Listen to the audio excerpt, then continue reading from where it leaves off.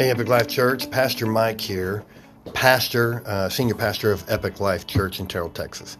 I want to give you a quick word this morning. Um, I hope you're having a great Thursday.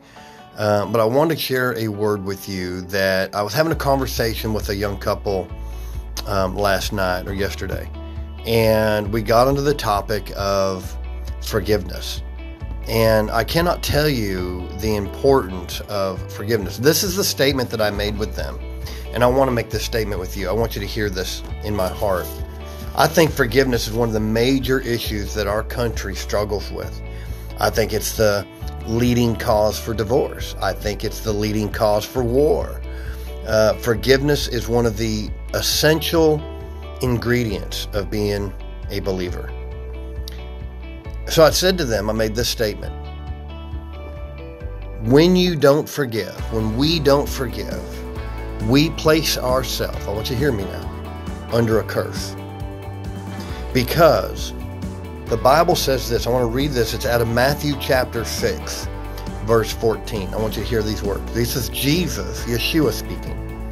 He says, For if you if you would forgive all other people their transgressions, your heavenly Father will also forgive you. But if you would not forgive all other people, neither will your Father forgive your sins. Did you see that? Did you see the curse? The curse is when we willingly choose not to forgive those that have offended us, those that have violated us, those that have uh, whatever it is that have come against you, come against me, when we do not do that, we put ourselves under the curse. What if the curse? It says it in verse 15. If you would not forgive all other people, neither will your Father forgive you. Church, I want to give you an encouragement this morning. Whatever it is you need to work through, whatever it is that you need to let go of, start with forgiveness. Forgiveness is not for the captor.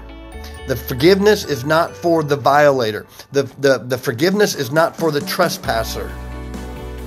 It's for you. It's so that you walk in the fullness of the grace and mercy and forgiveness that God has offered us so that you can live a life of freedom. I want to give that to you this morning. I hope you will share this with as many people as you can. I love you. And I want to see you live out the life that you were created to live, that epic life. Walk with forgiveness.